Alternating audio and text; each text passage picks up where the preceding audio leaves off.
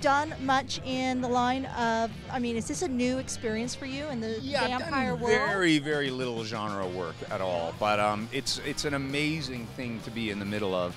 Um, you know, this is a show that was created by Simon Barry, uh, Chad Oakes, Nomadic Pictures, Michael Nankin, Neil LaBute, like and and I'm lucky enough to call some of those people my friends, and and now most of them my friends. Uh, and so to be asked to come and play in this sandbox was a pretty extraordinary thing, and um, I think we've. Uh, I think we've taken the genre and put a real spin on it, and and are telling our own story. It's pretty exciting.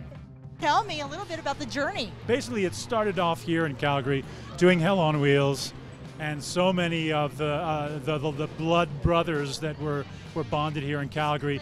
Yeah, we did. We all came together. He said, you know, you want to come down and do this this show, and we we just jumped in. There's a there's something about a woman who wakes up with all these.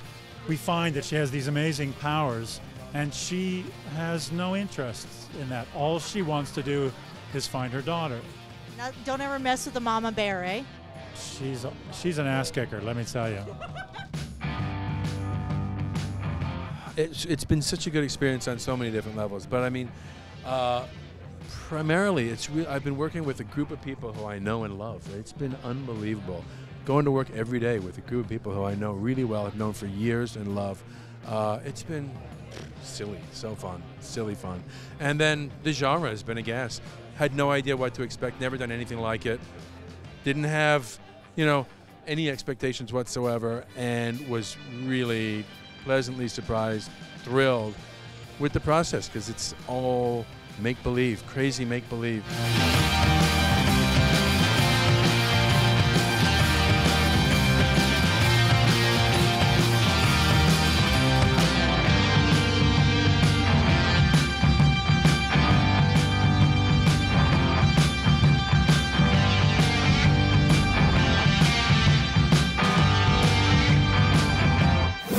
Sharing is caring. Click subscribe and get all the latest and greatest.